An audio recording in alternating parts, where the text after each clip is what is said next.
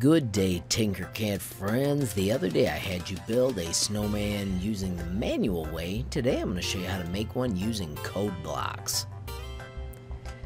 When you enter code blocks, you could test all these out, but I'm going to let you do that on your own time. Instead, I want you to hit New Design. As with any project, let's name our project. I'm going to put Snowman with my initials. You can put whatever you want. I chose the snowman because you repeat adding spheres three times. We're going to repeat three times as we make our new object called snowman.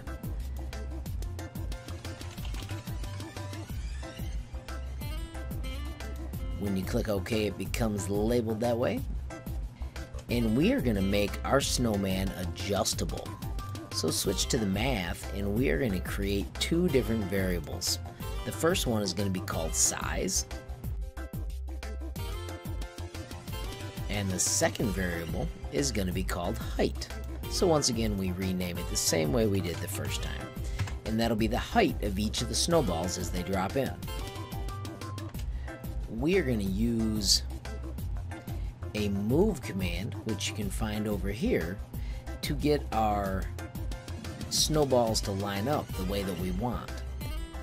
We're going to move using some very cool math. So grab the operations code block and we want to drop the height in the first location and then we need to change to subtraction.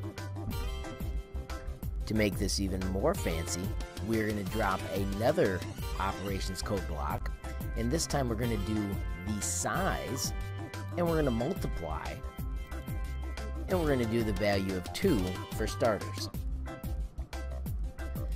Let's finally go to our shapes and let's bring out our sphere, drop it underneath. Because it's a snowman, we've got to make it white. And then we want to change, instead of the radius, we want to grab our variable. So we can click the data choice and bring out that size and put it in that location. And I want my sphere to be really round, so I'm going to change the steps to 36. Now, when you use repeat and you want things to change, you've got to put the modifier underneath. And our modifier is going to be this little set. But we're going to set the size to a new size. But once again, we're going to do some math to create that size. And we're going to put the variable size in the first spot. And then we're just going to add an amount in the second spot. We can do a lot of trial and error, but I'm going to tell you that 3 is a good number to start with. We finish our code by going to Modify and doing Select All in Object. And then we do one last move so that we make sure it's all up in the air. And we've got to change the Z to an amount that we adjust all the time as we make our different snowmen.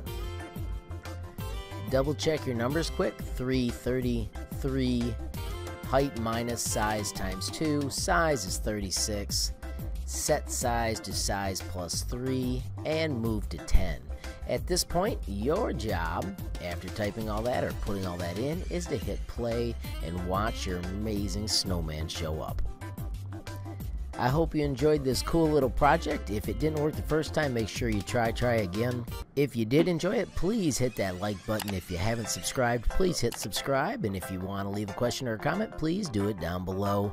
And last but not least, if you want to be the first to know when there's a brand new movie from me, HL Mod Tech, hit that notification bell. Thanks for watching. Have a great day.